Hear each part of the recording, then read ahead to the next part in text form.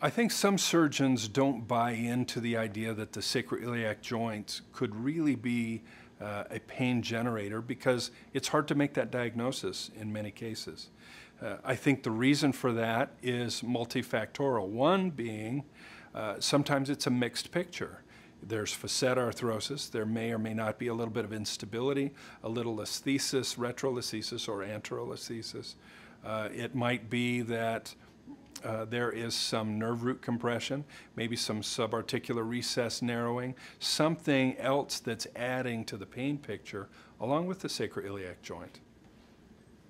Typically in our office, once the clinical findings suggest that this might be sacroiliac pain.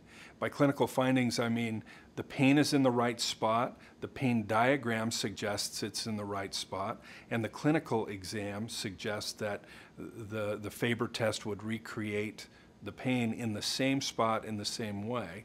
That to me has now uh, um, pushed me toward the next step, which would be verification that this is a pain generator, and so I send them for uh, a sacroiliac joint injection. We uh, send patients for two injections. They both must be positive for us to really believe that this is truly sacroiliac pain.